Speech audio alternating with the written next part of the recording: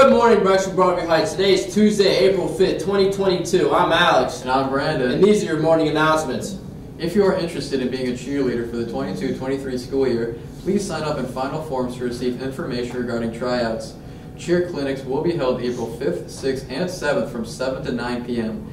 Tryouts will be after school on Friday, April 8th. There's a mandatory parent-athlete meeting today at 6 in the cafeteria. Attention seniors, you should have a survey in your email about your future plans. If you'd like to be included in the senior edition of the High Breeze, you will need to complete the survey by next Wednesday, April 13th. If you have any questions, contact Ms. Ignance Hoover. Do you need service hours? Interested in helping the environment? How about a free t-shirt and pizza? You should sign up for River Sweep. River Sweep is May 7th from 8 a.m. to 1 p.m. Find sign-up sheets outside room 242, Mr. Palumbo's room. What would you like to say about your high school experiences? Reminiscences, reflections, or your vision for the future? Here's your chance to address your classmates, teachers, and families at graduation.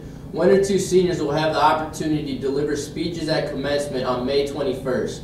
You should submit a speech about six to eight minutes in length. Speeches must be typed in double space. The speeches are due in the main office by 3 on Friday, April 22nd. Names are removed before the speeches are submitted to a committee of teachers and administrators for judging.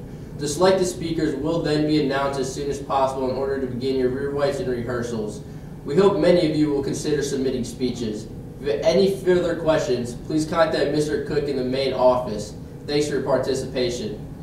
NHS is having a fundraiser on Friday, April 15th at, at Honey Hut in Brecksville. Please come out between 6 and 8 p.m. to help support NHS.